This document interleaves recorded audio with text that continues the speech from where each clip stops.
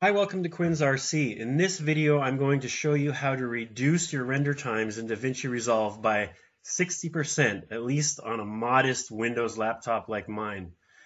I have an 11th gen i7 running at 3 gigahertz, 8 gigabytes of built-in RAM, and it's running the Intel Iris Xe graphics chip. This is really entry-level computing, not really meant for video rendering, but it's what I have. When I first tried rendering videos on Resolve, I found that they were taking a really long time. The main discovery was that they have this profile called YouTube 1080p. I'm shooting at 1080p because my laptop really can't handle editing anything higher than that. The next discovery I made was that the default codec is H.264 for this profile. There is an H.265 5 codec selection as well. When I changed it to H.265, the render time went down 62%. This is a render of the same video. It's 10 minutes long using H.264.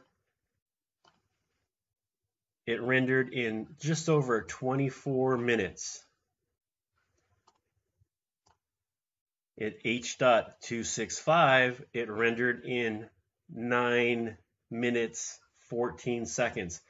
I was so stoked when I found this out. It's a huge time saver. If your system was installed with these defaults, make sure to change the codec to H.265 and you'll get much faster render times. I did a little bit of research between the two and the consensus is that H.265 has the same quality. It just codes a lot faster than H.264. I hope this helps you out. If you want to see other tips like this, they'll be coming up on my channel. Like and subscribe.